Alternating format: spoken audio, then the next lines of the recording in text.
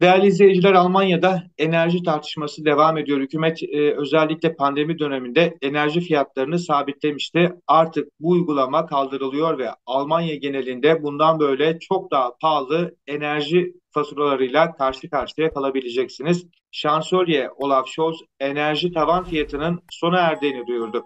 Hristiyan Birlik Partilerinden siyasetçi Friedrich Merz şansölyesi olarak içinde bulunduğunuz ayakkabılar size en az iki numara büyük geliyor diyerek Almanya Başbakanı'nı eleştirdi.